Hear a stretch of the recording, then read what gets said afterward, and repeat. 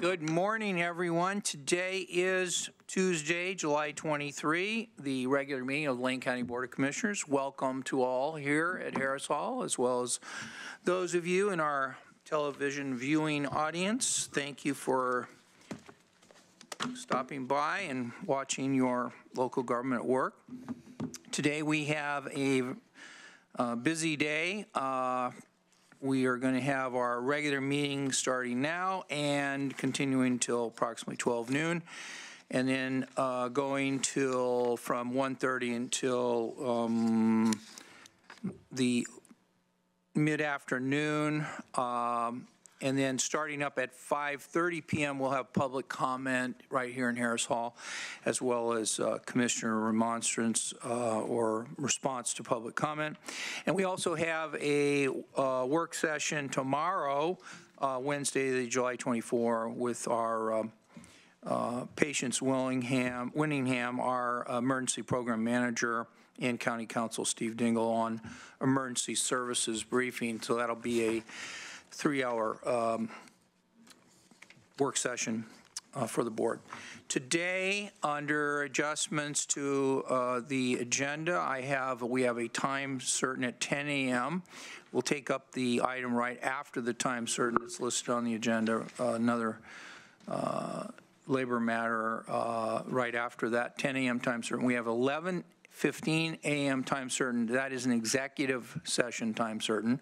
And we'll be going back to the board room for the executive session at 11:15. And then under uh, Commissioner, um, Commissioner Business, for agenda team requests. Uh, I know that Commissioner Buck has both the uh, Good Neighbor Authority and the uh, travel lane bicycle uh, item that'll be brought up, and I'd like you to make sure you bring it up under item 12B. Um, Are there any other uh, adjustments to the agenda on the part of commissioners before I turn to Mr. Mokrohisky and ask if there are any adjustments on the part of county administration? Okay, seeing none, Mr. Mokrohisky. Okay, very good. Uh, We'll move on to item two, emergency business. I don't have any emergency business, none, okay. We'll now go to our public comments. Each person will be given three minutes. I'll call your name, please come up to the front row and then come up to the microphone. Uh, Lauren Moe will be our first person, followed by Leah Moore and Catherine Gallagher. So uh, Ms. Moore, if you could come up to the first row, and Ms. Moe, if you could come up to the microphone, please give your name, and please uh, tell us where you live, and please, then our Vice Chair, Commissioner Buck, will set the timer and give you three minutes. Welcome. Okay. Good morning, I'm Lauren Moe. I live in South Eugene, and Pete Sorenson is my commissioner. Um, Today, I want to talk about the Nurse Midwifery Birth Center and what it's provided me and my family in terms of community and support. Um, So a little over four years ago, I um, went seeking a um, prenatal care that was a little bit alternative to what I was receiving at my OBGYN um, at 28 weeks pregnant. Um, I wanted to know the person delivering my baby and to be truly supported in the birth process and afterward. Um, and what I didn't know I would get in return, beyond incredible um, individualized service and lactation services, um, was a community of fellow mom friends um, that to this day I have really strong relationships with. Um, and as an exhausted new mom, I showed up every week at the um, at the birth clinic um, for the baby weigh-in baby clinics, um, where you get your baby weighed. You can talk to other moms. Um, you can talk to lactation consultants. Um, get help, you know, with those any issues you're having or questions. Um, and um, that just turned into be such a huge value to me. Um, within the first few months of my son's birth, I met several other moms with babies around the same age who also were going through those same things, not sleeping at night, um, you know, wondering if you're doing the right things or why your baby's upset or um, not taking naps when they should be. Um, and um, so other those other moms were also seeking that connection and support for lactation services. Um, being a new mom can be isolating and confusing, and there I made those friendships that um, felt me, made me felt less alone and truly part of a community. Um, because of the birth center, my sons and I are part of a group that has met for four years now. Every other Wednesday evening um, at 5:30 p.m. at someone's house, we alternate homes, and um, we continue to do that every other Wednesday. And those are the moms that I text when you know we're having behavior issues, or I have questions, or sleep issues, or we're just um, laughing about what's going on with our kiddos and our families. So. So I found the birth center um, to be an incredible support to our family and many moms in our community. Um, Commissioners, I'm here to ask you today to secure an important work session with key stakeholders, including yourselves, the Lane County Friends of the Birth Center, Peace Health, Oregon Health Authority, and the Governor's Office. We need decisive leadership now so that our community continue its decade-long access to safe and affordable care at freestanding accredited birth center. Um, so thank you for your support. Thank you very much. So Leah Moore, Catherine Gallagher, Alyssa Wagner, David Wax, and David Pachoni.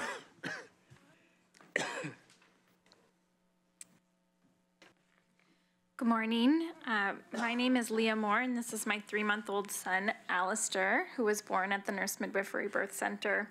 We live southeast of Eugene in unincorporated Lane County on the way to Mount Pisgah, and Heather Buck is uh, my commissioner. Um, Becoming a mother is more than a physical experience. There's a huge and often minimized mental and emotional component to birth itself, and the environment in which you give birth matters. A woman's surroundings during labor and delivery influence her comfort and stress levels, which can impact birth outcomes. This, in turn, can affect not only her physical well being, but her mental and emotional well being postpartum as well. Um, and we all know uh, how serious postpartum depression and anxiety can be. Um, I was fortunate to deliver at the birth center but due to a complication had to be transferred shortly afterward to the hospital. So i've experienced both environments and i was thankful to have uh, the hospital nearby since i did need it. I had a medical need um, but i was doubly thankful to have had the opportunity to actually deliver at the birth center. Um, the advantage to the birth center is continuity not only of care, but of the environment throughout pregnancy, birth, and the postpartum period. During my childbirth classes, I was actually able to spend time in the room where I gave birth and familiarize with myself with it and imagine myself actually becoming a mother there. Um, the birth center was a comfortable, home-like, and known environment when I arrived there in labor. Uh, the importance of support in the postpartum period cannot be understated, and the birth center fosters a unique sense of community before and after birth. Um, I feel like Lauren just described my life right now of not sleeping and having all kinds of questions, and having that built in um, support network that I get to go to every week uh, with weekly baby, baby clinics um, is absolutely invaluable. Um, child, um, yeah, the childbirth classes and the baby clinics have allowed me to meet other moms and babies, and I often run into and get to continue working with the nurses, lactation consultants, and midwives who cared for me prior to, during, and directly after my birth. Um, the lactation consultant and nurse who actually attended um, and assisted the midwife at his birth is here today, um, and I regularly run into her. Um, uh, for to get lactation support and weigh him and, and things. So the level of welcome, comfort, and support that I feel at the birth center cannot be replicated in a hospital environment. It is more than a medical facility. It is a sacred space where I became a mother, where I discovered the depth of my power and strength, and where I have formed strong and lasting bonds with my care providers and my peers. I hope I will have the opportunity to keep visiting and engaging with this space that has become a spiritual home. I urge you, commissioners, to move forward with the proposed commissioners' work session to bring together Lane County Friends of the Birth Center, Peace Health yourselves, and the Oregon Health Authority so that we can um, help preserve access to this birth center. Thank you. Thank you. Uh, Catherine Gallagher, uh, Alyssa Wagner, David Wax, David Pachoni. Good morning. Uh, My name is Catherine Gallagher. I live in Eugene, and my elected representative is Commissioner Sorenson. In 2009, the community raised 65% of the $1.2 million needed to build the new nurse midwifery birth center in Springfield. Peace Health contributed the remaining portion through sale of the old building. While Peace Health will say otherwise, the Nurse Midwifery Birth Center is a community asset. It should not be wrested away by misguided, prideful leaders who refuse every overture for engagement around this community health asset. As you head into the July 31 work session devoted to this issue, please consider the wisdom of allowing the least engaged and least informed stakeholder, Peace Health, to call all of the shots for the rest of us. The Peace that Peace Health so casually presses its financial, political, and bureaucratic influence to bend our community to its will should not be tolerated.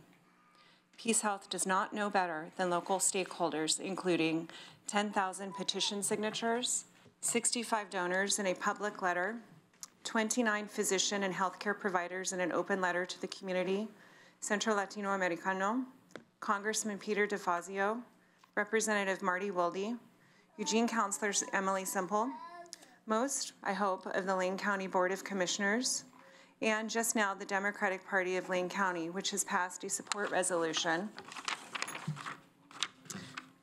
Do not accept assurances that, pe- that Women's Care, a private business, will swoop in and take over the, pre- the prenatal clinic. This is a high-stakes gamble. When Women's Care inevitably grows tired of the challenges involved, we are likely looking at a referral system where OHP-insured women, many contending with significant transportation, economic, and language barriers, will be sent out into a private service landscape, which currently is not prepared and unlikely wants to be. Do not accept assurances that all women will just accept Peace Health and Women's Care's fiat to accept the obstetric model of care and hospital birth. Both are said to be surprised by this. Do they not know our community? Obstetric and hospital care are more expensive, more invasive, and associated with outcomes many women in this community wish to avoid, including a nearly 40% cesarean section rate at Riverbend. Friends of the Birth Center is hearing from women and community organizations about women currently cobbling together plans to avoid hospital birth.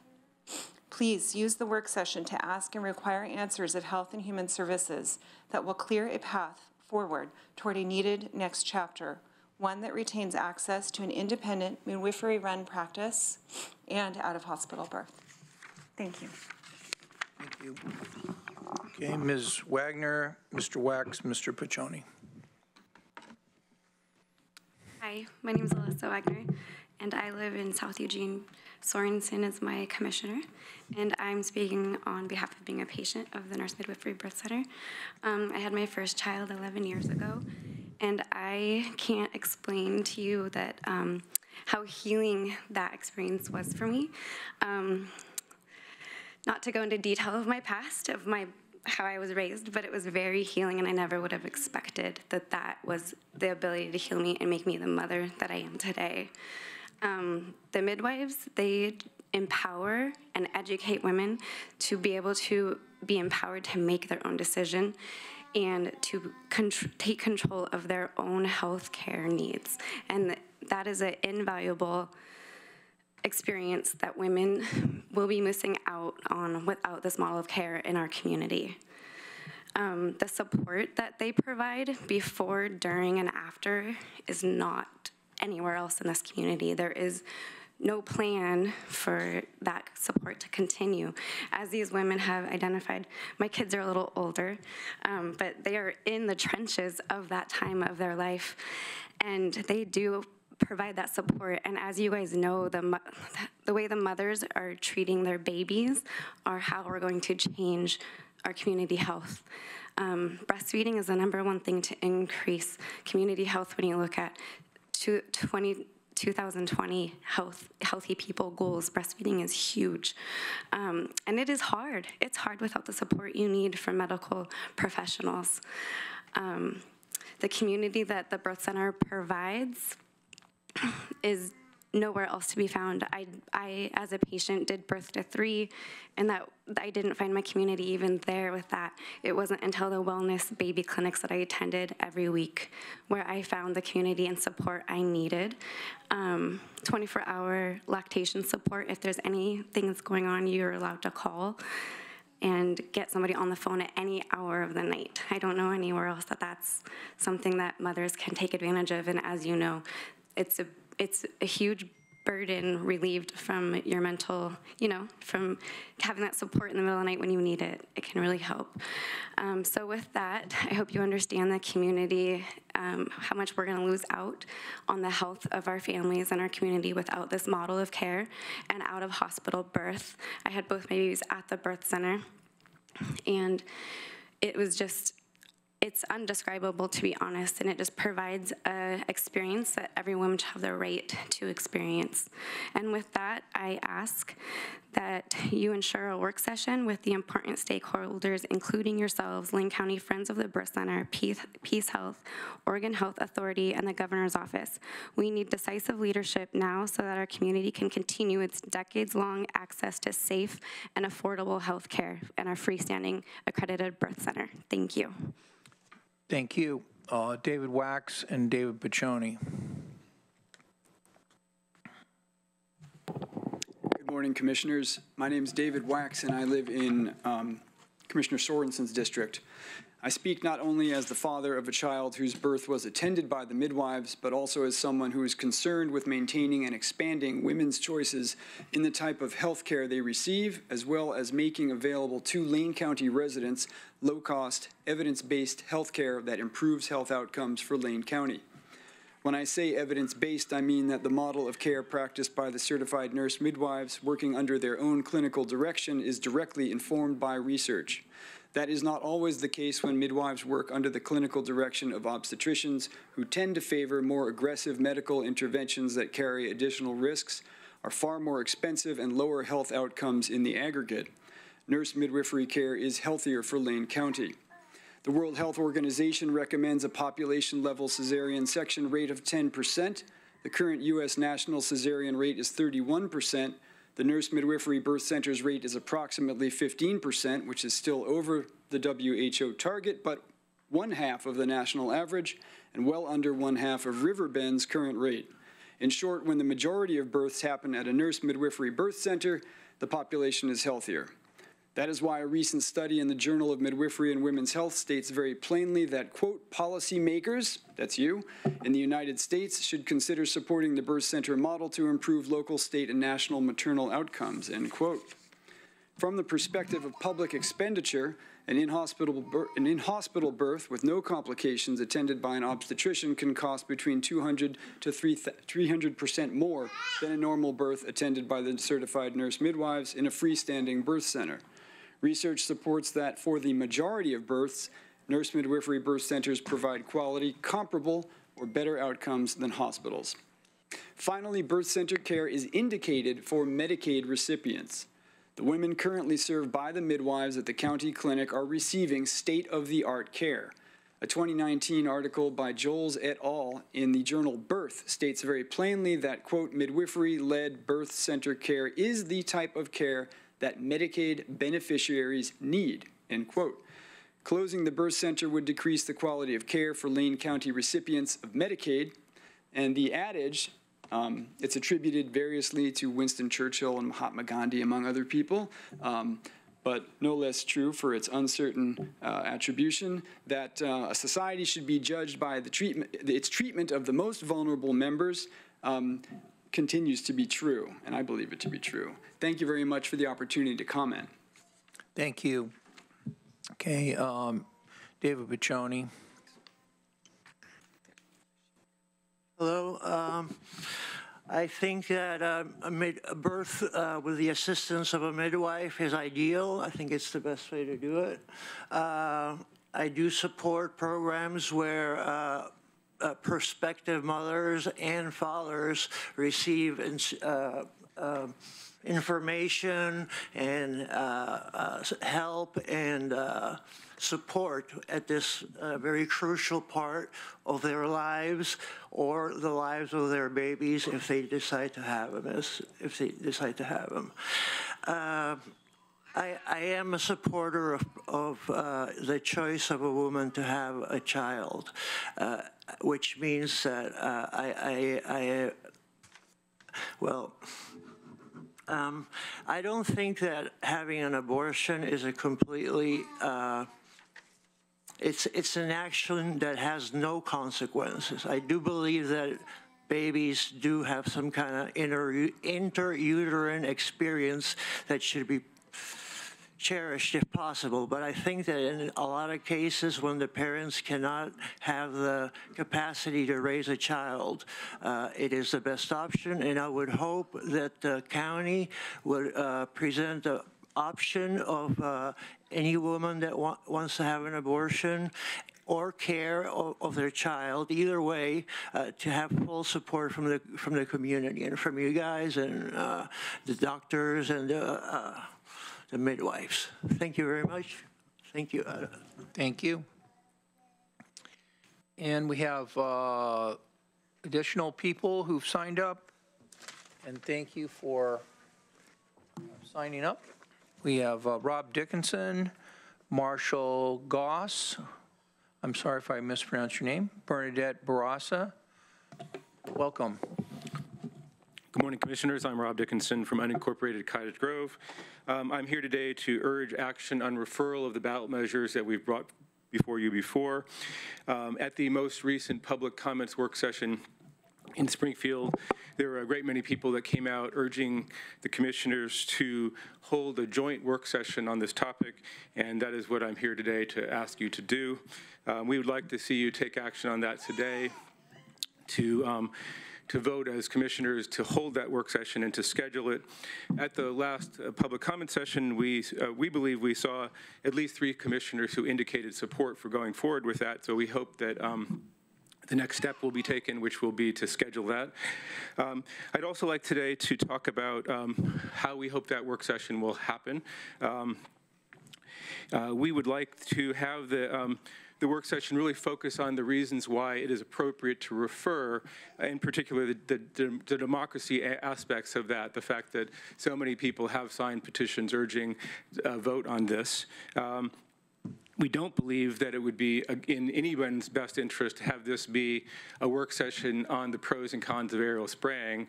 You know, we've brought before you many, many times over the last year and a half, many people who've given quite a lot of testimony and personal experiences. Um, we don't think the county is really equipped to have that kind of a work session on the scientific merits of aerial spraying. It would be something that would take weeks and require lots of expert testimony. What we think is appropriate is really to talk about why the public has called for this and why the commissioners have the ability to give the public what they want. Um, In terms of such a work session, um, we think the important thing when we asked for it before was the joint and asking for a joint work session. We, we want it to be such that we are represented there, that we can have representatives of, of um, Community Rights, Rights County, a group that I'm part of, as well as the two ballot measure committees who brought forward those previous initiatives. Those would be Freedom from Aerial Herbicides Alliance and Our Community, Our Rights.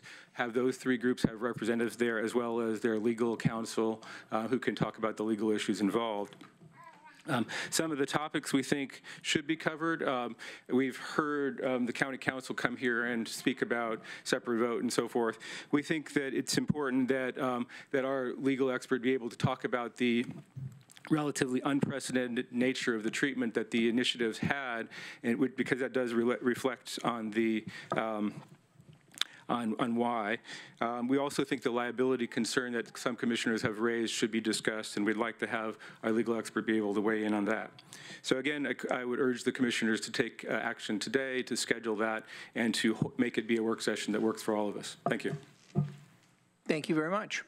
Uh, Okay, and Marshall, I'm sorry, sir, I probably mispronounced your name, so please give us your correct pronunciation. You got it, thanks. Marshall Gauze, yes. Um, I'm in uh, Lane County, um, Cottage Grove in the Heather Bucks District. Um, I want to encourage you as well to hold the work session on uh, referral of the ballot initiatives. Um, I, I believe that it'd be a perfect opportunity to have all of the questions in, in terms of the uh, legality and the democratic uh, aspect of it aired, both sides, um, in terms of the county's concern, in terms of um, the the uh, committees that have referred them to have legal counsel there, and I believe that that as uh, uh, Rob Dickinson said, focusing on the uh, democracy aspect and access to the ballot is the key to keep that a streamlined, focused session. Um, we're not here to uh, incur to change anyone's mind about aerial spray. That's something that the uh, citizens can discuss once it's on the ballot. Uh, the real question is that the will of the people be respected. Um, more than 15,000 signatures were collected on two different petitions. Um, uh, for to, to get this onto the ballot, and because of a number of unprecedented uh, steps, they've been deprived. So I would encourage you to today to make a decision on when to schedule that and let uh, both sides know, and uh, we look forward to uh, discussing that further. Thank you. Thank you. Okay, and Bernadette Barraza, welcome. Please come to the microphone, tell us where you live, and uh, you'll have three minutes. Welcome. Thank you. My name is Bernadette Barraza. I live in Heather Bucks District, uh, Lane, Lane County. Um, I'm very distracted by all these babies. I hope you guys are paying more attention than I can. Uh, and I'm here today to talk about that, although I do hope you have the work session on the aerial spray ban. But um, I birthed all five of my babies at home with the services of midwives, and this was in the ancient days when there wasn't a birth center, but the experience of birthing at home was really wonderful. And I'm not going to criticize hospital births at all. If a woman needs a cesarean, that's fine. Whatever that woman who is in labor and birthing a human being is uh, is needing that we can provide her with. I think it's to our benefit as a society to provide that. Um, and I would be advocating for more services rather than less. Uh, hey, if we could go over and clean her house and bring food and do the laundry for a few months, I'm sure they would appreciate it. Um, and many women of birth, childbirthing age can't be here today. They have jobs, they have young children at home, maybe they just whatever reason. And the reasons for wanting the services of a midwife are many. I, I think you can imagine. It, it's the idea of having the choice there to birth at home if you're more comfortable at home. Maybe you have an autoimmune disease and you shouldn't be in a hospital. Uh, maybe you're autistic. Uh, Maybe you like dark rooms in the comfort of your own bed, or a birth center's more home-like atmosphere than being in a hospital. It, it doesn't matter what the reason is. Um, giving birth was one of the most difficult things that I've gone through in my life. Um, it's, it's not easy. And that woman is really all alone. You can have lots of doctors or nurses around you, but you're kind of all alone when anything hits the fan. It's, uh, you just gotta like be grateful for the people that are giving you ice chips and back rubs and soft words of encouragement, but you're all alone. And uh, whatever they want, let's give it to them. Thank you very much. Is there anyone else that's uh, uh, here that has not signed up for public comment that wants to make public comment? Okay. Uh, Well, it's no, no redos, Mr. Petroni. Okay, uh, thank you very much. We are going to move on to our, oh, we do have someone. Thank you. If you could come forward, give your name slowly so I could write it down, and then we'll start your three minutes. Sure. Hi, my name is Ren McLemore, M C L E M O R E. I'm in um, South Eugene. My commissioner is Commissioner Sorenson, and I um, I gave birth to this beautiful girl in September of 2017 at the birth center. Um, beyond that, I had the most amazing care I've ever had. By the midwives in the prenatal clinic um, over here in town. And it was, um, you know, from anything that birth could have been, uh, all of the complications, everything went by so smoothly and the midwives provided me with the best health care I've ever had in my entire life. And um, this little girl came in our own time, 18 hours after my water broke, and I I was given. she's loving the microphone. Um, I was just given um, lots of presence and care, and uh, I I have no doubt that my natural birth and my ability to give birth safely and in the best possible way was all in part because of the care that I received at the birth center and from the midwives and also from the lactation consultants um, postpartum. Uh, I went through.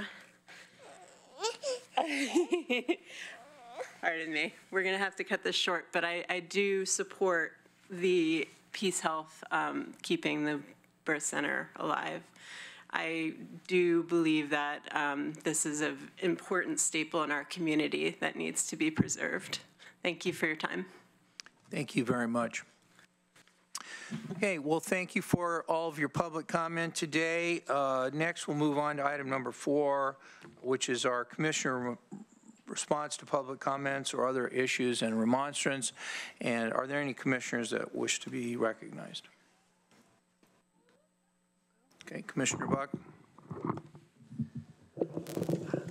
I just want to thank everybody who came, including the little ones. I said it before we started, but I just want to repeat for people, you know, when little ones come, don't feel like you have to shush them or take them away. Um, They're just talking, and that's okay, and I want them to feel included in our meeting. Um, So don't feel like you have to constantly, you know, shh, or anything like that.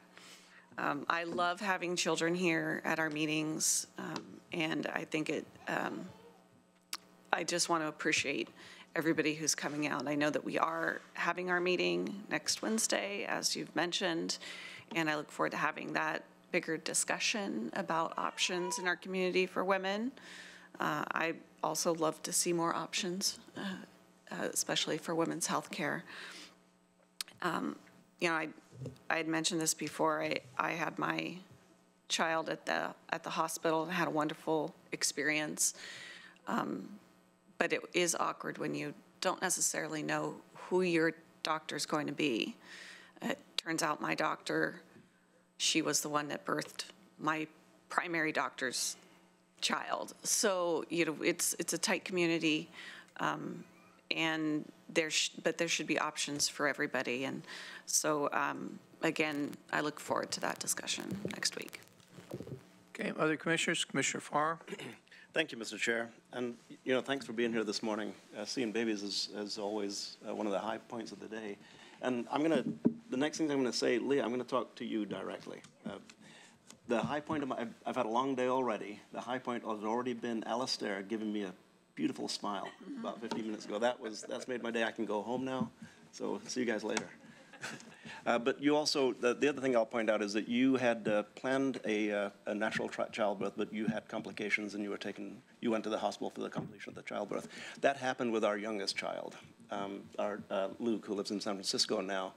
Uh, We had planned a, a a home birth, a natural home birth, and it did, did not work out. So we had a plan, an emergency plan, which all of you all have, an emergency plan, if complications arise. It's not, uh, you're in the finest of hands with your, in the birth center, but should complications arise, uh, you have nearby, a plan for nearby help, such as we had, and it, and it was a blessing at the time. That was in the ancient days, back in the uh, 1980s. Uh, Prior to that, in even more ancient days, we had a birth center uh, birth with our young middle son, uh, Evan, at Lucinia Birth Center, which is no longer here. But uh, once again, it was quiet. There was no beeping, no, no loud sounds. Uh, one of the most comfortable experiences that I personally have ever experienced. And I've been at four births, um, uh, three of my children, one of my grandchildren. And it's, it's uh, and our first child was born in the hospital with monitors and beeping and loud noises, and, and he was a forceps delivery because of meconium. Um, was an emergency process. I don't know how much they use that today, but, uh, but once again, it was an emergency situation and help was there. I have every single bit of confidence that you, as parents, know exactly how you want to bring your children into this, into this world, and we're going to back you up in that. I'm going to back you up in that. And it's not just rhetoric. It's not just, I back you up. This is the real deal. Uh, what you're asking for is not out of the question, and it's not something that is out of the realm of us as a board and as a county being able to help you. So thank you for being here. Um, and thank you for, once again, your testimony that you provided that uh, really helps us to uh, see things in a, in a true, in a clearer view than if uh, we just read what you were talking about on paper. Bringing your babies here is fantastic. The second thing, uh, Mr. Chair, I'm going to talk about this more during agenda team requests. And I see that one of my two, and in the pages of agenda team requests we have, I have two. Uh, one of them's been pushed way down to the bottom of the list to be determined agenda, the, the kindness, kindness letter uh, regarding uh, the county of kindness.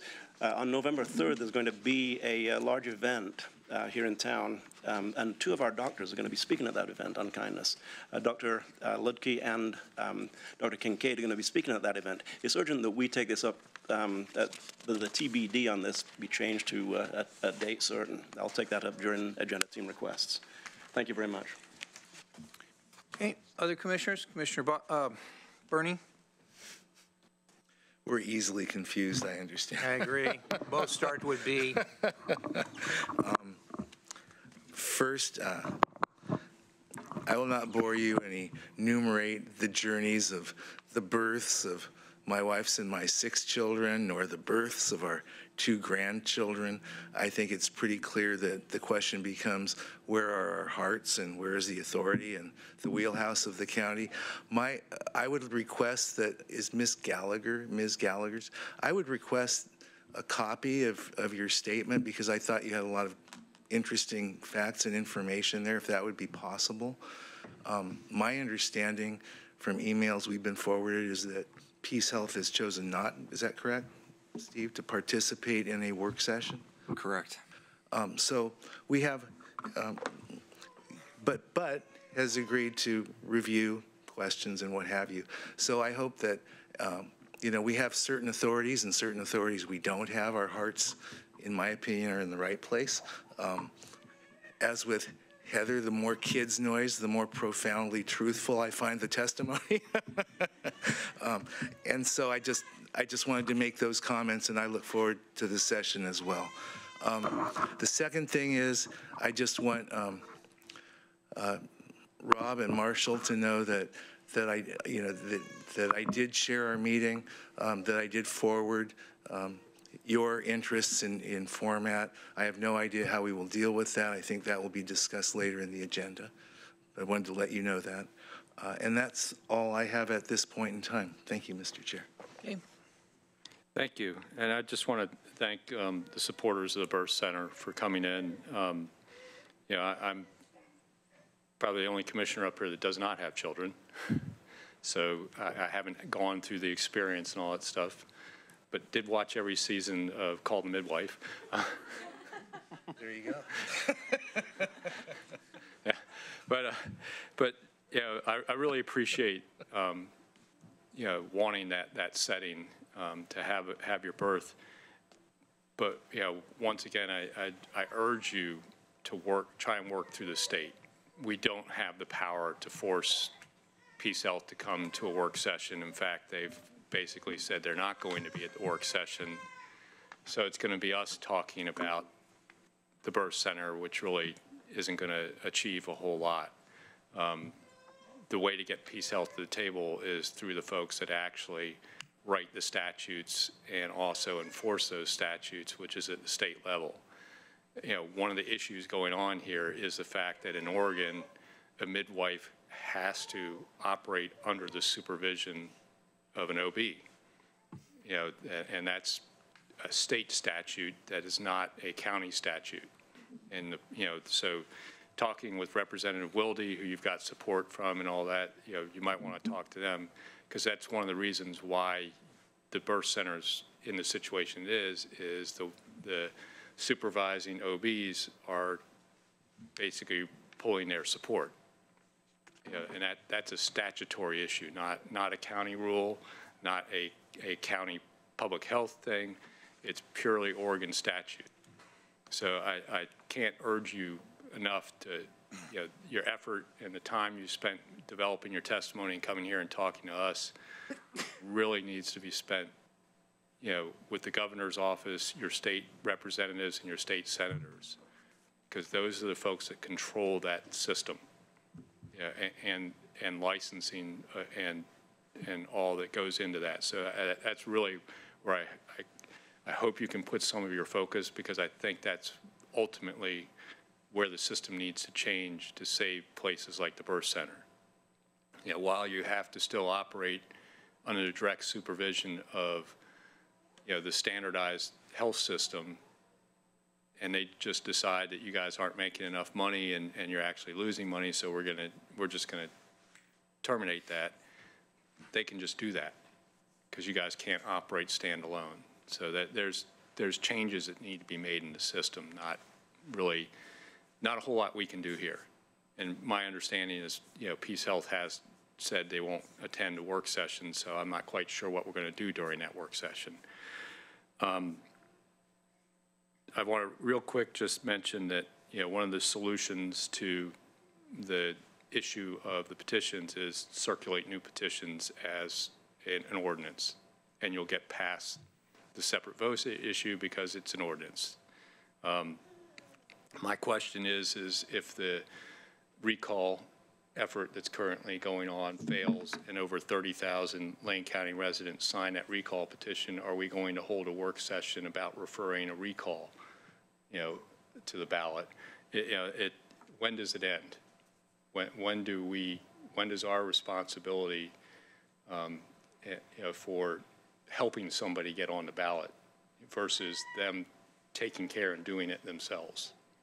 You know, there is an option for the aerial spray and the community rights to get on our ballot, circulate correct petitions.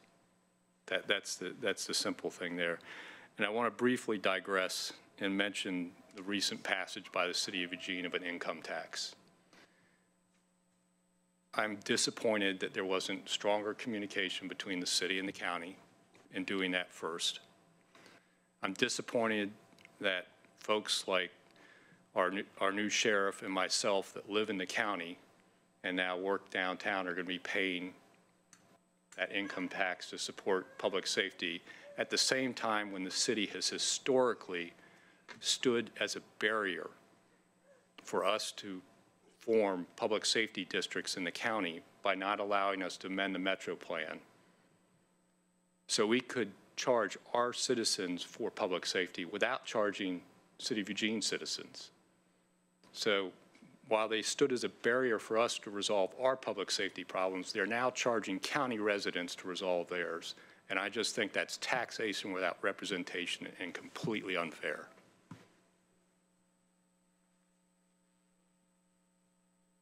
Okay, thank you. Um, a Couple of things on my part. Uh, First of all, uh, thank you, Ms. Barraza, for pointing out that uh, mm, during this incredible stressful time of motherhood, that maybe we should uh, provide a little help, like doing the laundry, maybe cleaning the house. And I recall uh, traveling in Denmark, and that's exactly what they do in Denmark. Uh, They have a program to help uh, young families that are stressed and overburdened with the demands of a new child, and that's exactly what uh, they do, is they recognize that the long-term economic cost associated with having a, you know, dysfunctional setting during the crucial time in a little person's life, that maybe that help would be paid back many-fold over, over, uh, not to mention the humanitarian component to it of really helping people.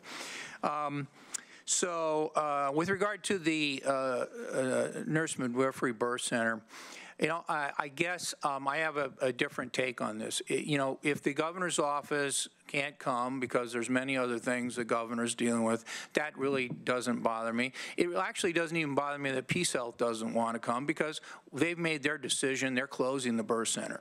What I think this, uh, we- of course, had it turned out that they wanted to participate, maybe it'd be different. But now, it's really, uh, our work session should be focused on what are we going to do as a community to make sure that we have a birth center. For many reasons Mr. Wax mentioned in his testimony, uh, we want to be at the forefront of public health, of the way healthcare is delivered. Lane County has a tremendous responsibility in the field of health, not only primary care of actually running clinics and hiring doctors, nurses, and other professionals, but also our broader public health responsibilities. So there may be a place within Lane County government to do this. Obviously, the law of economics applies to the government as well as to the to the Peace Health nonprofit sector, and if the number of births is falling uh, at the birth center and the uh, OBGYN that current, currently is overseeing the birth center uh, uh, until it closes, uh, you know, the issues of liability insurance and whatever, they don't go away just because the government steps in. But it could be that the government would play a role, or it could be the government plays the role in assisting a nonprofit, a future to be named nonprofit in uh, in this. And we did the very same thing when we set up the federally qualified health centers uh, in terms of, of guiding the process of proposing the uh, federally qualified health center. Uh, I'm told that, that people that run the federal health qualified health center uh, are not interested, that the model won't work for them. And I, I don't, I want to fight with them over whether it would or not. I want to get to a yes where we see as a community uh, what our role is. Um, so that's what I hope we will accomplish next Wednesday morning when we have our work session on that topic. Now, concerning the various ballot measures, and Mr. Dickinson and Mr. Goss and others that have come, uh, first of all, we're having another public comment this session this evening. Um, Secondly, at in this meeting today, uh, I'm hoping to ask Mr. Dingle about the opinion that he's written for the board's consideration and whether or not uh, there are uh, sufficient interests on the part of the Board of Commissioners to release that opinion so that other people, yourself and many others, can look at that, scrutinize that, and, um, and make any additional comments you want about it as we move toward a joint work session, which uh, uh, on my own behalf, not speaking for the board, I think we should move towards a joint work session. The outcome of which I do not promise, uh, but I do think that we could, in my view, uh, have that joint work session. Um, okay, um, and, and I've arranged for Mr. Dingle, and, and thanks to Commissioner Berney as well, we'll have a discussion of the release of that county counsel opinion, and that will be listed as item 8B on our agenda today. Okay, um, and you can either stay around for that, or you can be assured we will be talking about that on item 8B today. Uh, Okay, Commissioner Farr, anything If I further? may, Mr. Chair, an item of interest to the folks testifying regarding uh, uh, medical uh, issues in Lane County, uh, item uh, B6 on our consent calendar is not, we're not going to discuss it today. Take a look at that. It's regarding medical residency and the availability of general health care in Lane County. Uh, This is a letter that we are uh, sending to the governor regarding medical re- re- residency. Take a look at that when you get a chance. It's on the consent calendar. Okay, um, anything further under Commissioner response to public comment? Okay, seeing none, we'll now move to our consent calendar, and uh, there are many, many items on it, uh, very important items. Um, uh, And Commissioner Farr is correct, we are approving on the consent calendar our letter to the governor uh, concerning the need for medical residency in Lane County. Uh, That's part of it. Uh, Many other items. Are there any items that any commissioner needs to take off of or wants to take off of the consent calendar? Seeing none, I'll entertain a motion to approve the consent calendar as presented. I'll move um, approval of item five, our consent calendar, as presented. Okay, Is there a second? Second. Okay, moved by Commissioner Buch, seconded by Commissioner Berney to approve the consent calendar as, as presented in item five on our agenda, and numerous board orders and actions. All those in favor, please say aye. Is there any discussion? Uh, Usually not, because, uh, but go ahead, go ahead. No, I We have apo- time. We I have time. apologize. No, that's okay, we have time. I said, I don't know. Um, I just want to just make a c- general comment, and maybe this can be addressed later, but I noticed many of these are for large amounts and they're being sole sourced, and as I read through the materials, it did not look like there was a lot of competition for, for that, and, and not knowing the details and not questioning the details, for me, when there are so many sole source, non-competitive uh, scenarios, it just makes me wonder what the process was and, and did information get out. So I read through all the materials. I'll support uh, the consent calendar, but I did want to flag that. That's all for perhaps discussion later. Good. Thank you. And feel free, uh, if you want to uh, propose an item for future uh, agenda team requests or work session on that issue. Okay, all those in favor, please say aye. Aye. All those opposed, please say no. Uh, The consent calendar is approved by a vote of five to zero, all commissioners voting uh, and present, voting yes, and all orders and direction is approved. We now have uh, two items coming up uh, quickly. One is at 10 a.m., uh, one follows uh, shortly thereafter, both uh, labor management issues. And between now and then, uh, I'd like to call on uh, Mr. uh, Mokrohisky, item 7A, for any administration announcements. Thank you, Mr. Chair. I have a couple here. Um, I sent the board an email last week. Uh, I attended the National Association of Counties Annual Conference um, in Clark County, Nevada, last week. Um, I was there primarily for the National Association of County Administrators, uh, which I had shared with the board that um, I was elected the president-elect of NACA uh, for the next two years, and then um, I'll serve as the president of the National Association of County Administrators from July 2021 to July 2023. And I, again, I appreciate the board's support of uh, that role and the ability for our organization to tap into that national network uh, of, of peer county administrators to learn from and, and share information with. Uh, while at that, we had, um, we've really grown the relationship between that organization and NACO and uh, the National Association of Counties, uh, as well as the International City Management um, Association, and we received an update from staff at NACO, and they talked, and then I subsequently attended the Jail Inmate Healthcare Task Force that's been created by NACO.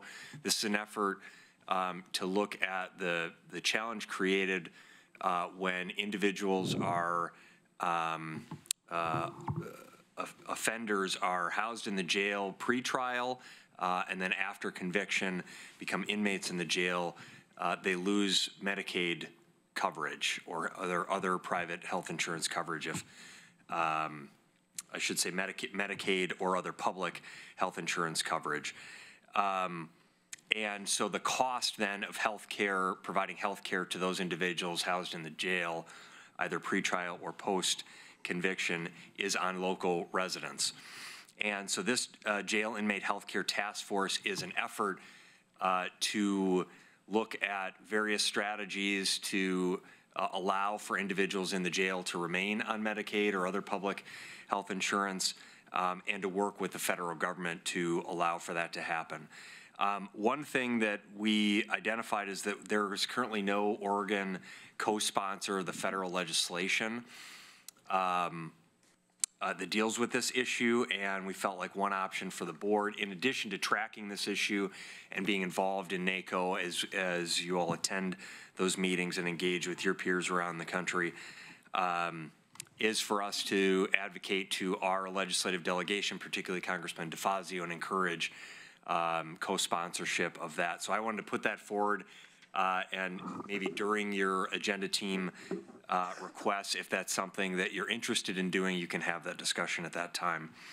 The second issue that I, and I'm happy to answer questions about that, Mr. Chair, if you have uh, any questions there. The second issue is I just wanted to provide an update on the um, request by Commissioner Sorenson at the June 11th meeting. We had some public testimony where individuals talked about, the, the board has subsequently received a number of emails from residents um, expressing a desire to declare a state of emergency, a homeless state of emergency.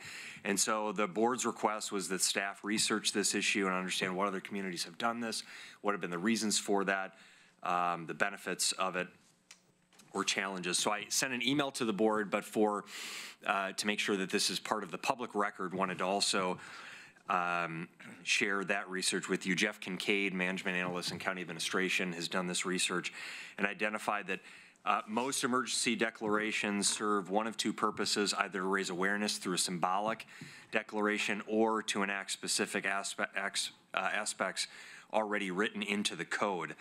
Uh, Lane County, for our part, if we were to, if the board was to take an action declaring a homeless state of emergency, it would fall into the symbolic category, since Lane County does not have relevant code language for this type of declaration. Um, the act of declaring an emergency in the absence of any related code uh, for Lane County uh, does not trigger any special authorizations or powers. Um, as an example, declaring a wildfire emergency does have more than symbolic powers. So if the board would declare uh, a, natural a wildfire emergency or natural other like natural disaster, that declaration would trigger explicit provisions in the lane code authorizing appropriation of funds, uh, the authority to order evacuations, uh, and so on. Um, so again, uh, uh, declaring a homeless uh, emergency is symbolic and no explicit provisions in the lane code are triggered by that sort of emergency. Uh, we're not aware of any grant programs that would become available to us as the result of, uh, of specifically declaring a homeless emergency. And then I wanted to share just a few of the communities, some of whom were noted during the public testimony. Um, the state of Hawaii declared an emergency. Um, that allowed for additional commitment of funds and suspended certain statutes. That has been extended several times, most recently in August. Um, this says August 7th of 2019, but that would be difficult for that to have happened since we haven't hit that date yet. So this may have been 2018. King County, Washington uh, declared an emergency that stated uh, their immediate actions to address homelessness uh, requested assistance from Washington State and requested assistance from the United States. This is an example uh, of those that we researched where the declaration did not grant any additional authorities or access to funds, so King County's action would have fallen into the the symbolic category. City of Seattle, I think was mentioned during the public testimony a few weeks ago, uh, declared an emergency that activated portions of the city charter, which granted the mayor additional authorities, uh, suspended certain laws, uh, requested assistance from Washington State and requested assistance from the United States. And finally, the city of Portland declared an emergency that activated portions of the city code granting additional authorities, allowed for additional commitment of funds and waived portions of the zoning code. And that has been uh, extended several times and runs through April 4th, 2021 my, my comment earlier about the Hawaii date is, is that their declaration runs through August 7th, 2019. So that would be an interesting to one to watch if they extend that. Those were all the updates. I know that was a lot of information. Uh, certainly can talk about another portion of the meeting, but I want to share that uh, those updates with you now. Thank you very much. Uh, at this time, I'd like to call uh, Ms. Nagel and Sheriff uh, Clifton Harrold and anyone else that's associated, uh, Ms. Wood, Inga Wood, uh, to the table. I'll read item 6A. This is order 19-07-23-09 in the matter of approving the tentative agreement between Lane County and the Lane County Peace Officers Association. Um, and I see Ms. Holmes, our um, Human uh, Resources Director, Inga Wood, our Labor Management, Labor Relations Manager, uh, Sheriff Clifton Harrold, and uh, Andrea Nagels from the Lane County Legal Counsel's Office, all here. And if you could introduce uh, anyone in the audience that you're aware of uh, that's here on this item, uh, we'll uh, turn it over to you, Ms. Nagels. Thank you, Chair and Commissioners, and I apologize, I'm getting over a little bit of a head cold, so um, Would you like the introductions at this point for the Yeah. members who have been able to join us today? Sheriff, do you want to do the honors? about if I pick on the president, LCPOA President Eric Churchill, and then why don't you uh, introduce your board?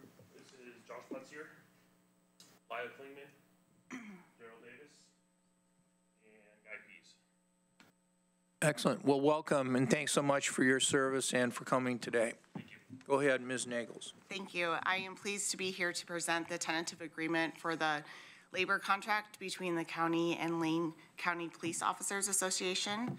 This is an item where within the board packet, we have a full uh, summary of the changes that was, that were agreed to at the bargaining table, as well as there's a full red line of the contract that shows all of the changes.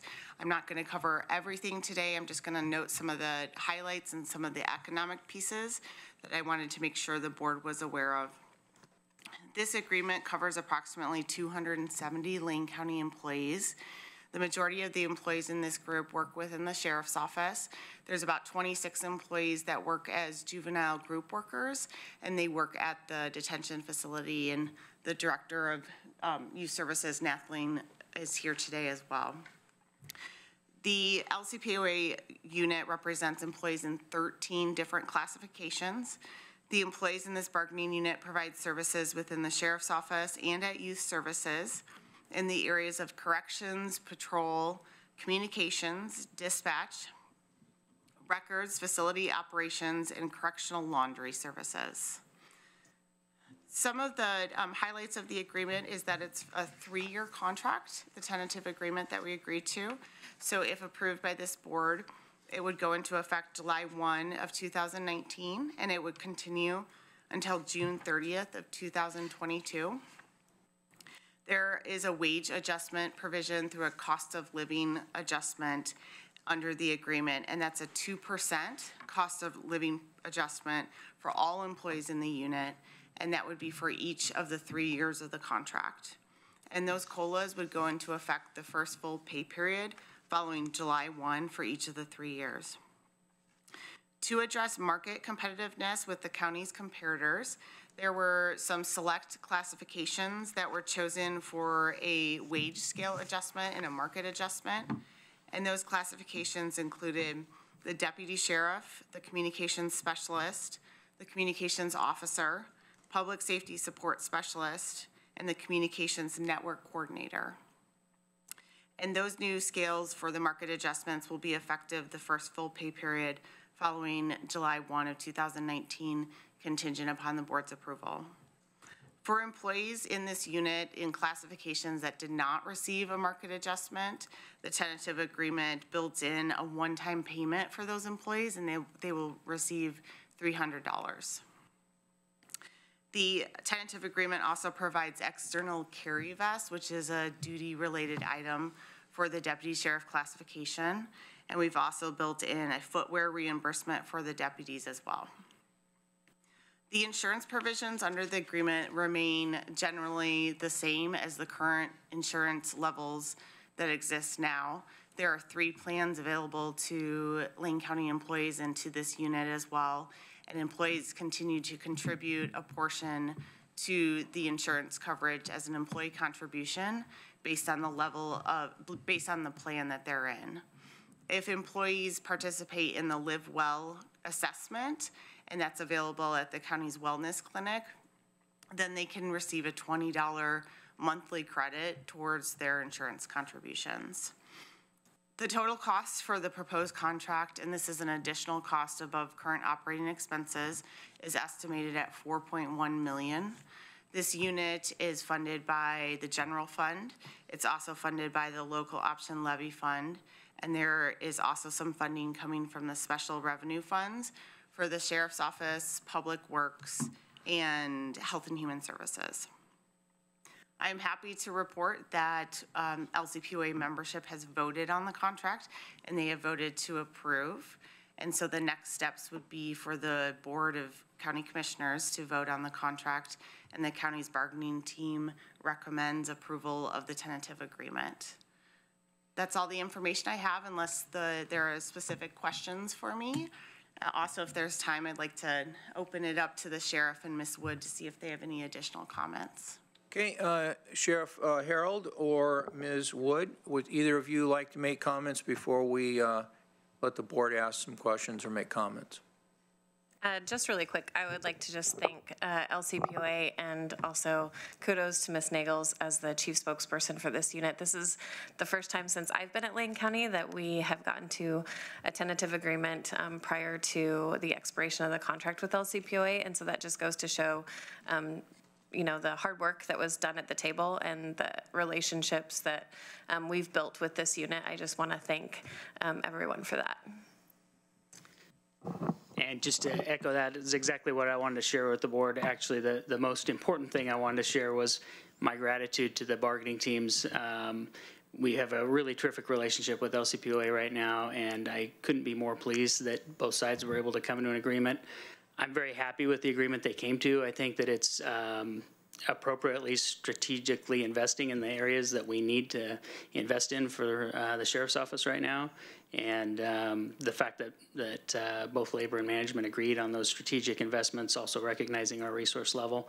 Um, I couldn't be happier. Uh, I have to give some kudos to Chief Deputy Wilkerson, who isn't with us right now, but he was uh, on the bargaining team there at the end and um, called me uh, the day that they reached the tentative agreement, and I was uh, absolutely thrilled. And I woke up the next morning and remembered that he had called me and told me that, and I was thrilled all over again. So, um, very happy that uh, we're here today to ask you to uh, approve it. Thank you so much. Uh, Commissioners, do you have any questions before we uh, move, or comments before we move to a, a vote on the order? Commissioner Bozievich? Sure. I just want to, real quick, um, clarify maybe for the folks that might be watching all that. We talk about a step reconfiguration for the deputy sheriff classification. Was that the uh, drop the lowest step? Or is, I can't, I, we, we, we work on so many contracts now, I'm, I'm forgetting which, how we reconfigured their, their steps uh, in that classification. Yes, there, there was a reconfiguration of dropping the lowest step and then um, um, a- an adjustment kind of to the scale. And then so employees will move to the closest step without a decrease and then move, you know, on their next merit based on where, where that falls. So we were addressing how we were out of market on the low end of, of um, experience level. Correct. We did, uh, as part of our bargaining um, uh, prep work, we do a market review of all the classifications using our five county comparators. And with the deputy sheriff classification, um, there is, uh, what we were seeing, the numbers for those entry-level positions, they were not as close to market as we would like to see. So that was part of the proposal to drop that first step on the scale. So then you're bumping up that entry-level wage. For the other market adjustments that I mentioned, we, I, I believe we did not drop any steps. That was just a scale adjustment. I think we But with the changed deputy grade sheriff on- classification. on- On the it was- communications, yeah. Yeah, yeah. Yeah, I just wanted to kind of point that out a little bit for the audience, because one of the things we're trying to do is make sure we are competitive in recruiting new officers um, as we look at the, uh, the silver wave that's working our- our way through our, our, all of government right now of retirements. um, eh, We, we need to be able to recruit um, quality individuals into this service, and I think this contract helps address that, and I want to thank, um, you know, our bargaining team and the membership uh, and leadership of the union for addressing that, because I think that's really important to do. Um, And I also appreciate that there is a balance in this, and it, and cost-wise is not excessive, and, and, and enables us to maintain service levels at the same time. So uh, it was a great uh, piece of work by the bargaining team on both sides, and I really appreciate the contract. Thank you. Further comments from commissioners? Um, I, I just want to ask a question about the uh, five county comparators and how that figured into the discussion.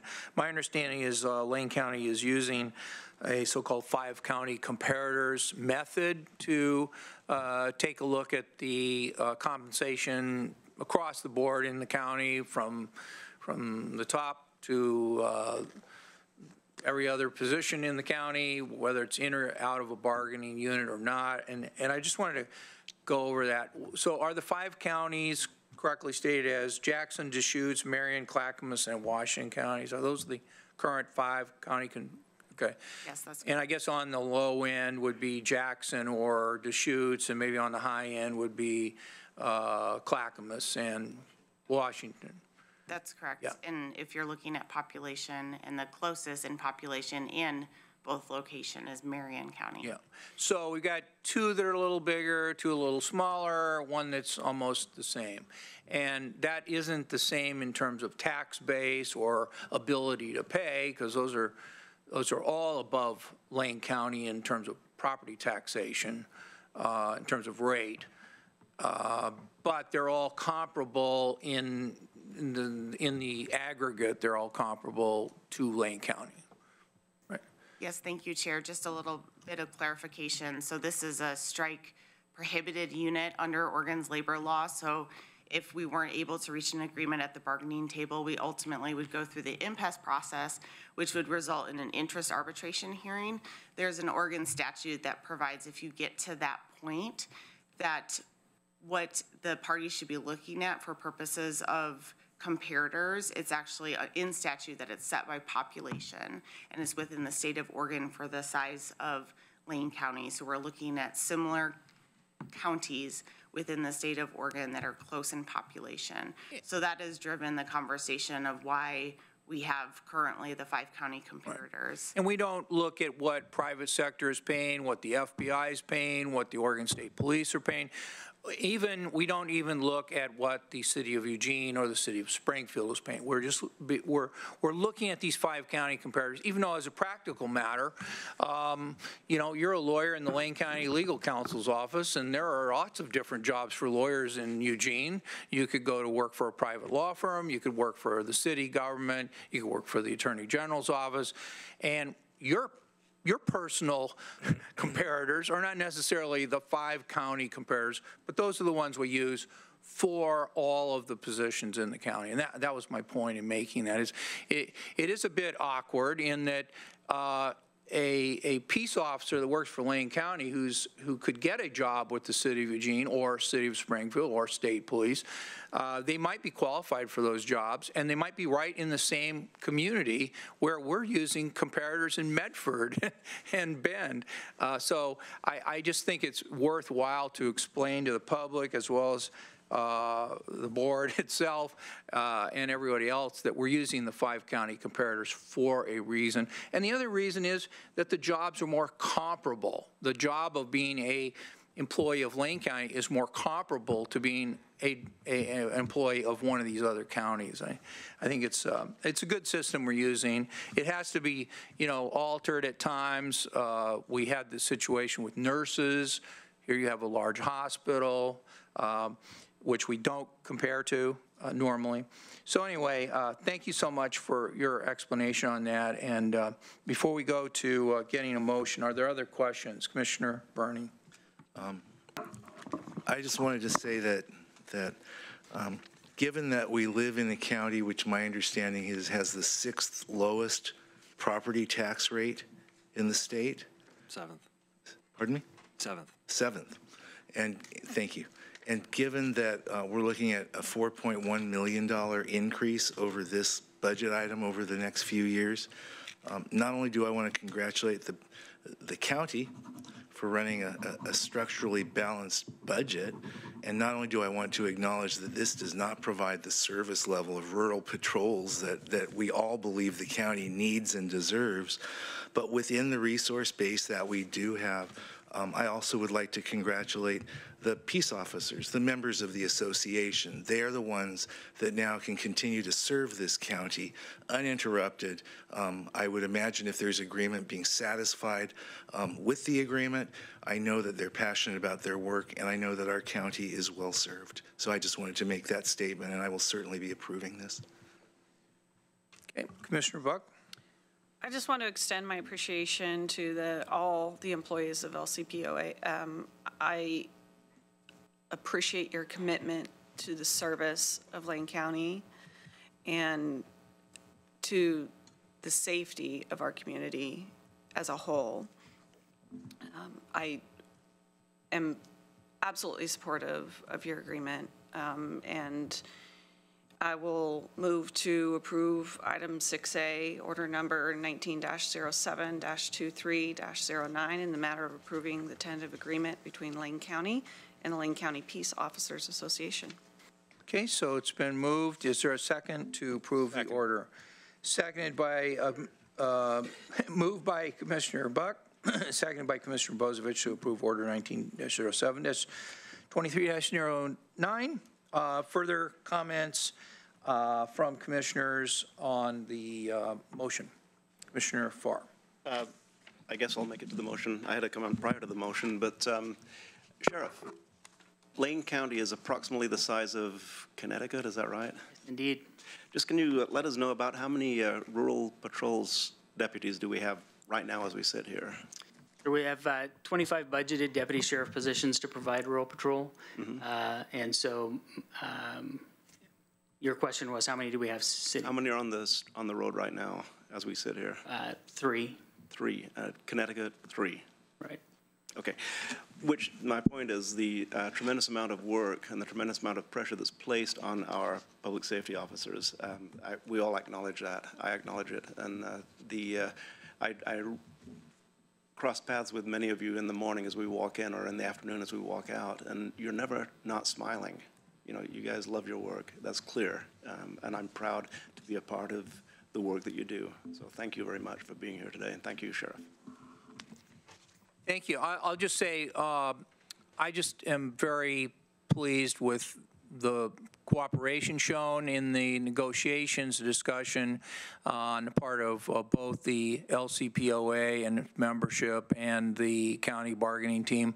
I'd also like to say that that uh, one of the things that is uh, most important in the work we do as a county is public safety, and our charter sets up a Department of Public Safety headed by the sheriff, and the people that do the work, uh, which is often very uh, uh, difficult, risky, uh, it's it's it's hard on the families uh, of the officers. It's hard on the officers themselves, and we owe you a tremendous debt of gratitude for all the work you do.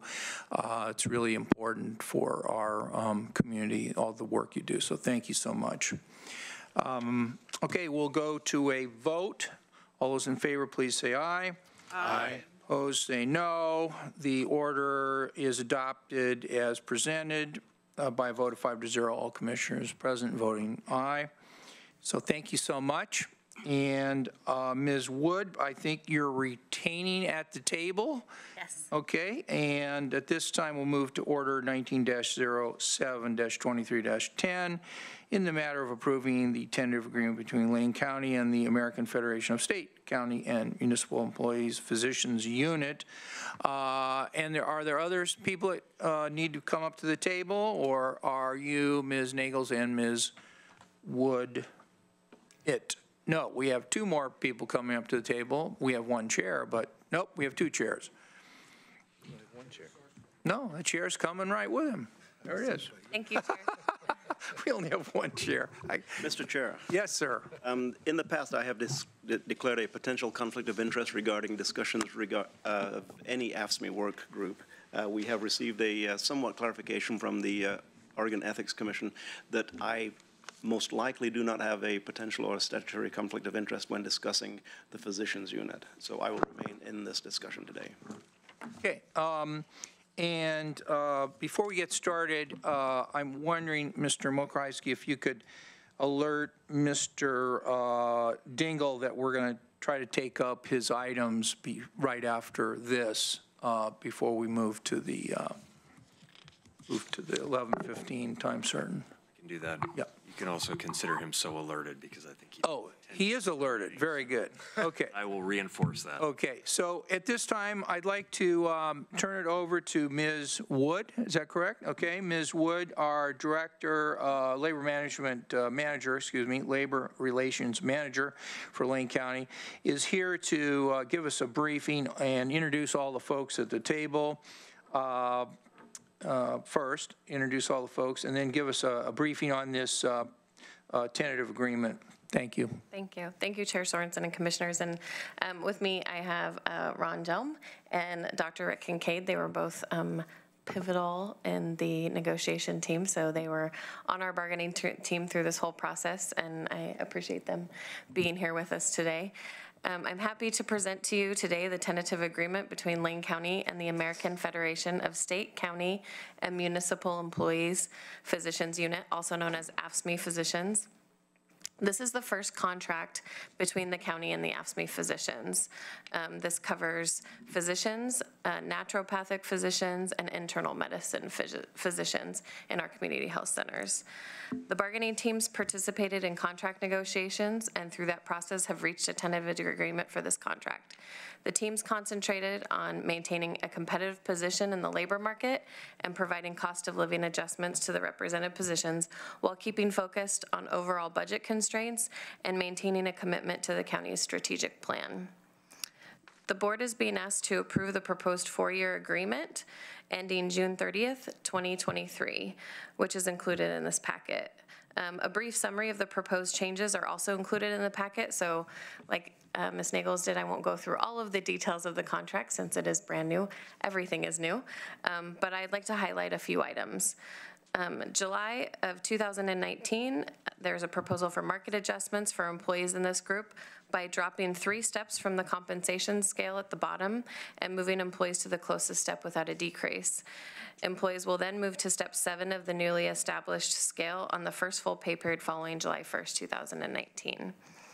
Um, Employees in this positions on the date of approval will also receive a one-time payment of $10,000. The tentative agreement provides for a 2% cost of living adjustment for the year two of the contract, um, which is fiscal year 2021, 2% cost of living adjustment for year three of the contract, which is 21, 22, and a 2% cost of living adjustment for the fourth year of the agreement, which is fiscal year 22, 23. Um, So unlike some of our other agreements, this is a little bit unique in the sense it's a four-year agreement instead of a three-year agreement. Um, The health insurance plans and employee monthly co- contributions will change effective January 1st, 2020.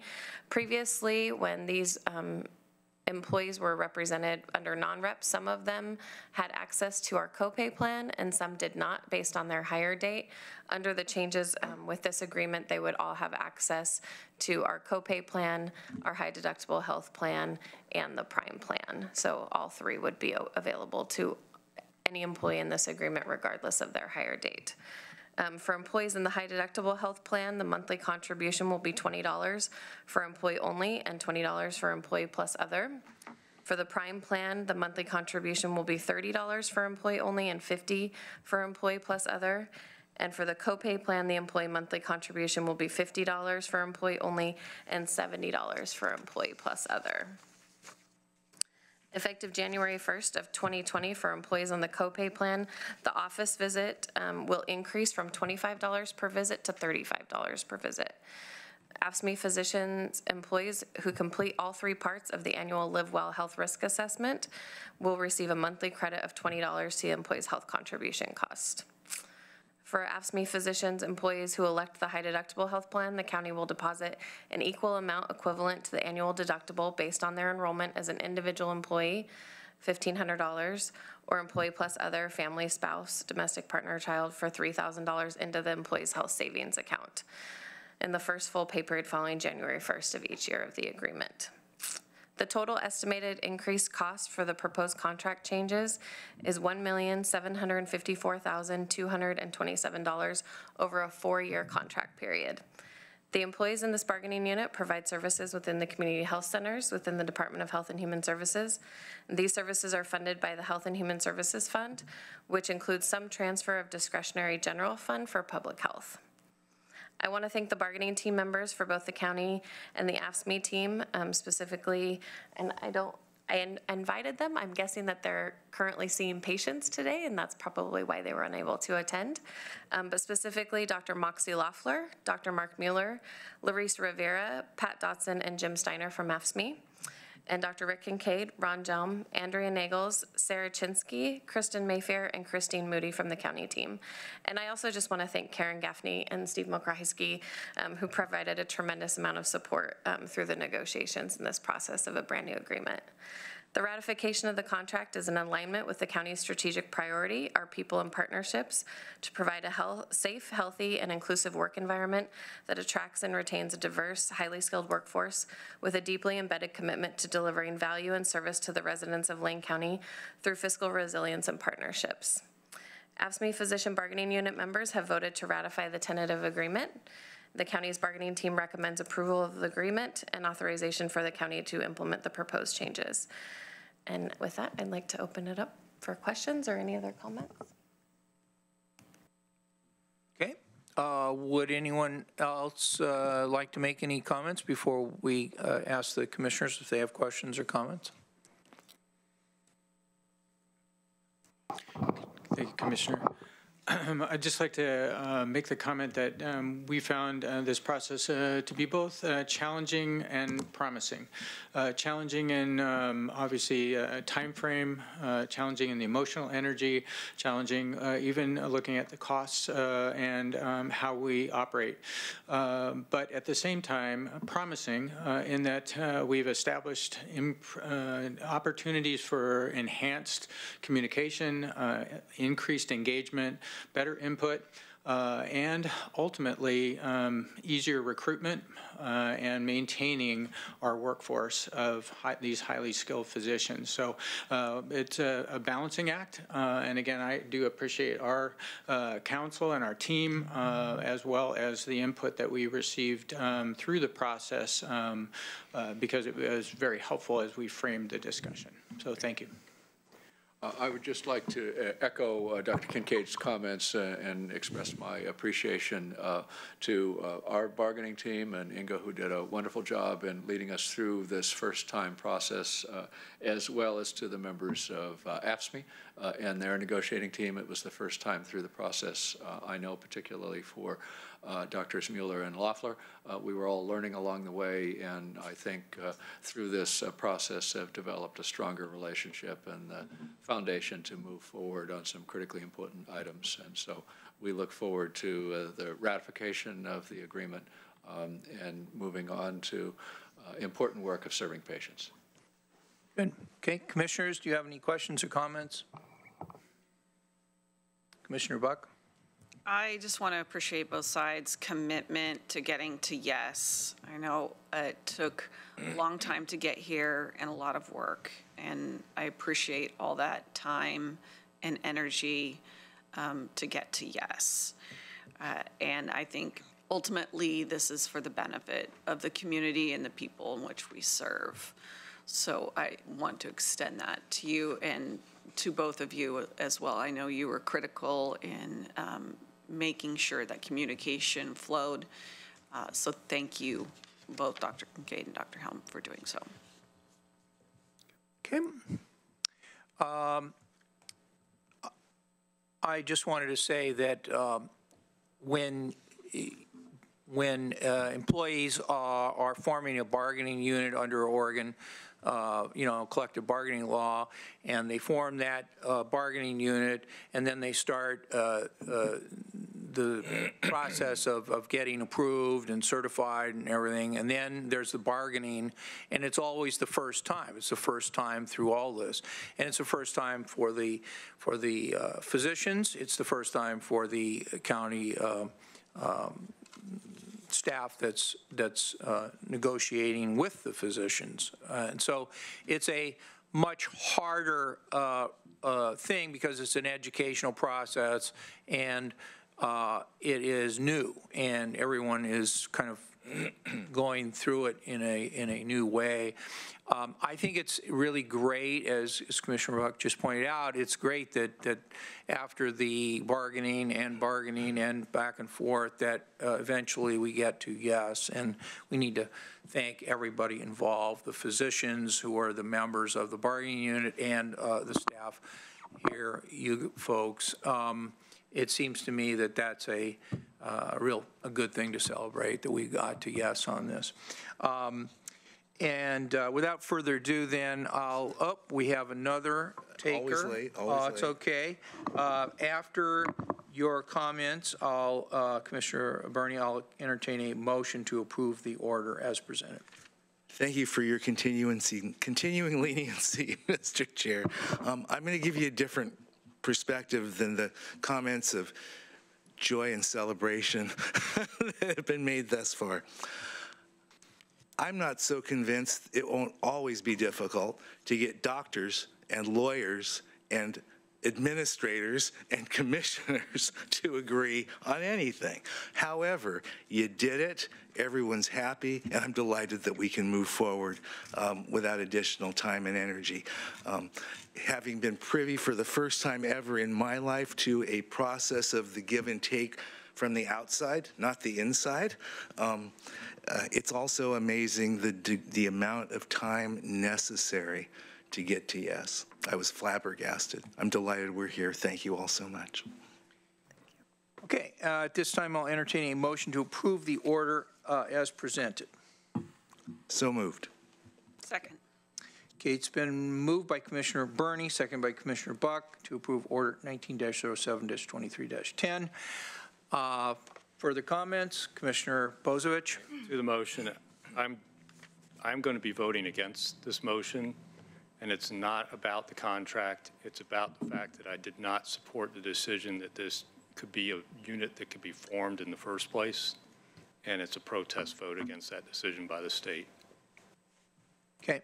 Uh, Further comments? Okay. Um, All those in favor, please say aye. Aye. All those opposed, please say no. No, sorry. That's okay. The vote is uh, four to one. Commissioner uh, Bozievich voting no, and four commissioners voting in the affirmative. The- The order is adopted as presented. Thank you very much. Thank you. Appreciate it. Thank you. Thank you. Thank you. Uh, We're now ready to go back to our, why do I have, oh, there we go. We're ready to call up uh, item number 8A, which is the county counsel announcements, and then I've created another thing called item 8B, which is called the release of county counsel opinion in ORS 294.100. So as the first item is the announcements, uh, I'll call on Mr. Dingle to make any announcements, and then when he's done, I'll call up the other item. Thank you, uh, Chair Sorenson and uh, members of the board. Just a couple of quick items. Um, I wanted to let you know that I've been working with uh, the McKenzie River Discovery Center. They've renamed themselves. These are the folks that made the presentation about uh, an interpretive center slash museum uh, with the old fish hatchery. We will soon be executing a facility use permit, which will give them access to the location, which they want to do some work in anticipation of, I believe you're going to receive an invitation to, I think it's August 24th, that they're going to invite elected officials to come up and see their plans. And then also part of that is uh, the, um, that option, or that facility use permit includes an option for a long-term lease. So I just wanted to update you on that. I didn't know that they had sent those, uh, the invitation out. And Commissioner Berney, we will certainly follow up with you on the, uh, your comments about the sole source. I can tell you that generally speaking, what that means is that we have put it out for a notice. It just turns out if you look at the types of services that were involved there, they tend to be extremely unique. And, and it tends to be that the person who has that contract, the, the county is the only consumer of those services, so it tends to go. It's, uh, it tends to continue on. I appreciate that. But I'll have you something in, that. I'll include the rest of the board too. And then moving to 8B, there was um, some discussion, we had an executive session on this matter, and I can't remember when that was, two weeks ago? Three weeks ago? It- Anyway, it involved uh, the potential liability uh, for the board members uh, around the issue of referring some of these measures that have been discussed, specifically um, the personal liability in ORS 294-100. Uh, There seemed to be interest in uh, having an open session to discuss the sort of back and forth with the, uh, the legal issues. And I told the board that based on previous boards' uh, policy, they're- had reached a, uh, a- an agreement that uh, it would take three members to waive attorney-client privilege. I supported that so that we didn't inadvertently waive. And so uh, I think the first thing today is to, if, a, ahead of that potential, um, or that work session, it would be to have the board waive the attorney-client privilege, the memo that um, was provided as the basis of the executive session. Uh, It would be my expectation that once that happens and we get the, uh, and we'll decide, uh, we can talk about the scheduling. I've got some information from some of the folks who are interested in it, as well as Ms. Jones. We can talk about uh, when that gets posted, but essentially what, what that would mean is the material uh, on behalf of the county that would be uh, made available to the public ahead of time would be that opinion. And the, um, um, and the attachments, not just the memo, but there was a number of, you'll recall, a number of different things that were attached to it.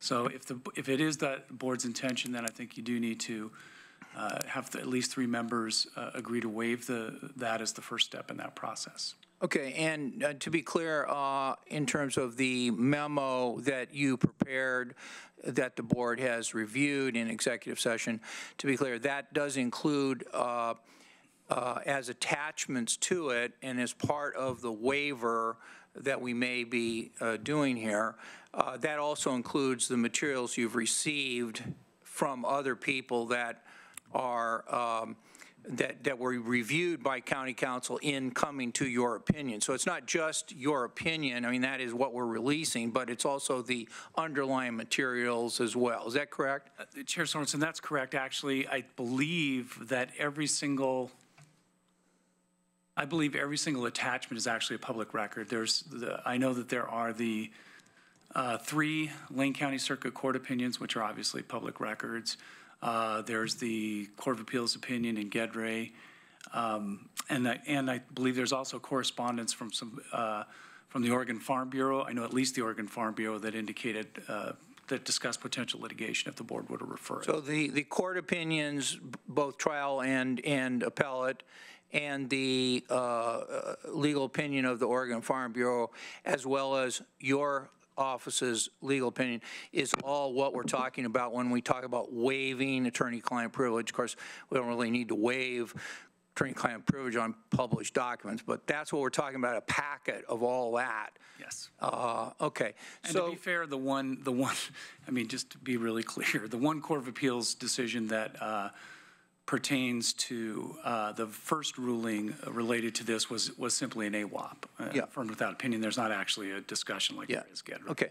So uh, I'm sure other commissioners have questions about this possible waiver. I'll call on Commissioner Bozievich. So at, at, I support the waiver, but I believe it is important for us when we waive attorney-client privilege to do it by a formal action of the board, which, um, rather than just a head nod sort of thing, um, and I, and rather than do a, a motion from the floor and, and have the, some of the unclarity around that, I would ask that the staff prepare a board order to be on consent, our next consent calendar, um, that formalizes us waiving our attorney-client privilege in releasing the report on this particular uh, aspect of our, our, our liabilities around referral of a, of a. Would would you be open, if they were able to do that before the end of this meeting, would you be open to Sure, having us? as long as we have a formal board order and there's a recorded vote on that board order. Yeah. I, I just, that, it's important to me to protect our attorney-client privilege, and the only time it should be waived is by an action of the majority of this board in a formal action.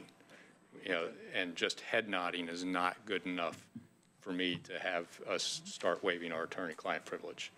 So Okay. that, that, that's all I, uh, my only concern around this. I fully support release of, of this, this memo. Um, I think it's important to let everybody take a look at, you know, some of the information we're getting around our legal liabilities.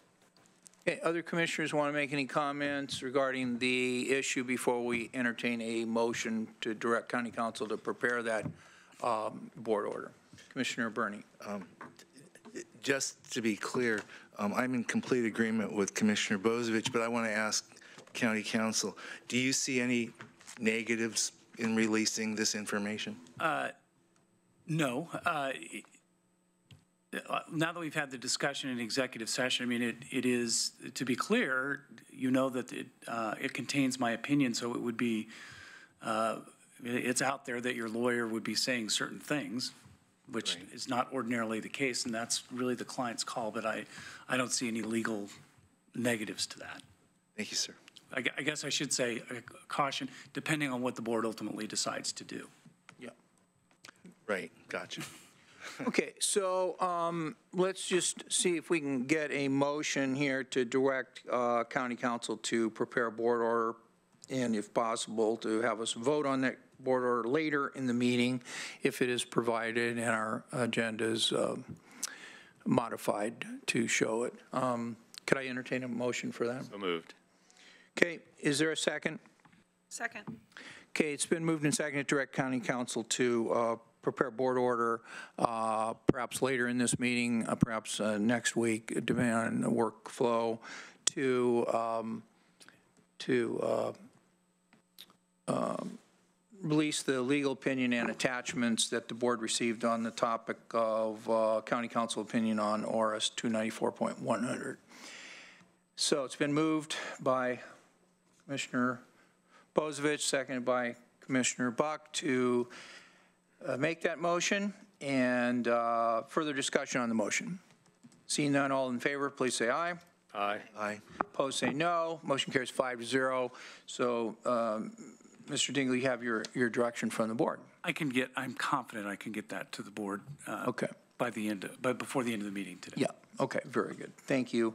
Um, And um, now, where are we on our, where our, our, uh, our first, uh, or scheduled, I guess the time certain scheduled is 11:15.